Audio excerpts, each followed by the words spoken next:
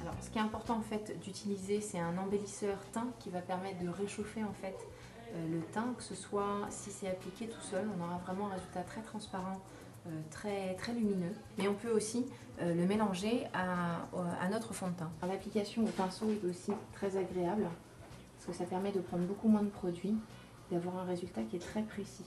On va éviter de reprendre du fond de teint, on va simplement estomper ici,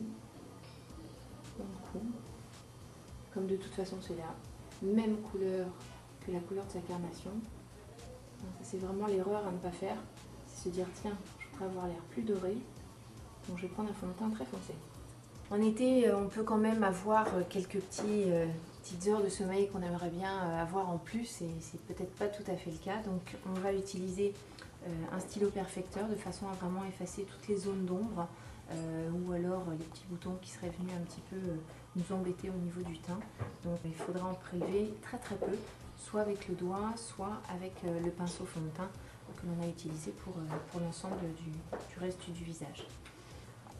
L'étape suivante, ça va être la base fixante yeux, que l'on va appliquer également en toute petite quantité. Voilà, donc maintenant on va amener euh, vraiment euh, le côté bonne mine sur, euh, sur ces pommettes, de façon à lui amener à la fois la fraîcheur, qui vient vraiment être essentielle quand on parle d'une terre de soleil. On va toujours mettre en avant également la fraîcheur du blush.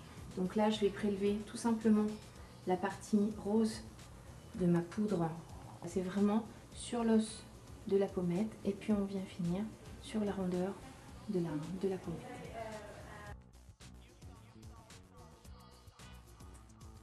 Maintenant, on va utiliser euh,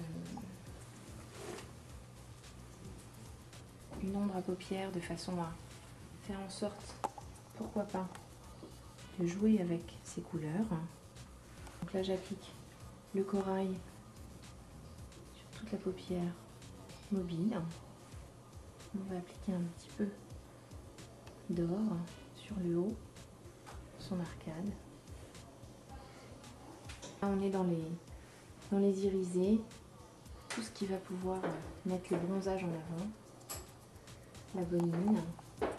Alors, j'ai choisi également le mascara waterproof parce qu'on peut aller à la piscine entre midi et deux, on sur la plage et avoir toujours un regard euh, superbe avec euh, les yeux et des franges de cils bien recourbées, euh, bien séparées.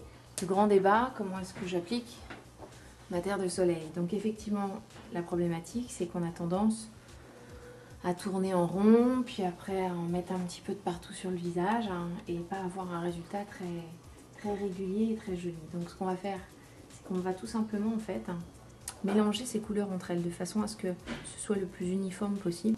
Et puis ensuite, je vais vraiment, comme tout à l'heure j'ai appliqué euh, l'ombre, euh, le, fond de teint, je vais vraiment de la même façon caresser le visage.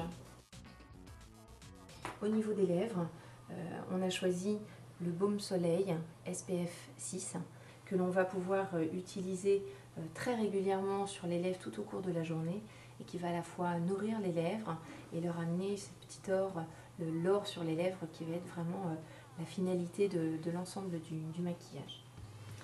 Voilà, donc avec ça, vous allez être super.